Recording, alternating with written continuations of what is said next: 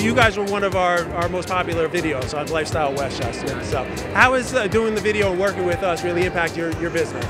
Oh, it's been unbelievable. We can't hire enough help since the since the video, so it's definitely a good problem to have. It got our story out there, and uh, it definitely helped put us on the map a little bit.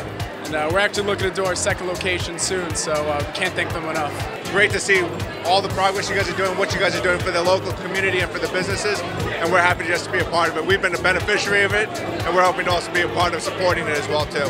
And so we just want to come and show our support, and just we just appreciate everything that they've done.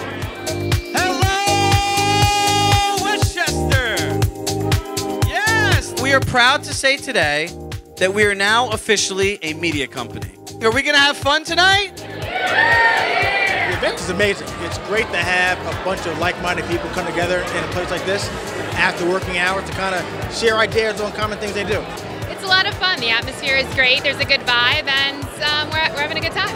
I'm really loving Sabre. The new space is really great. I love how open it is. It's a great place to come and have a cup of coffee, work on your phone, whatever you want to do. Or host a party, right? Or host a party. The party is awesome. This location is so unique to Westchester.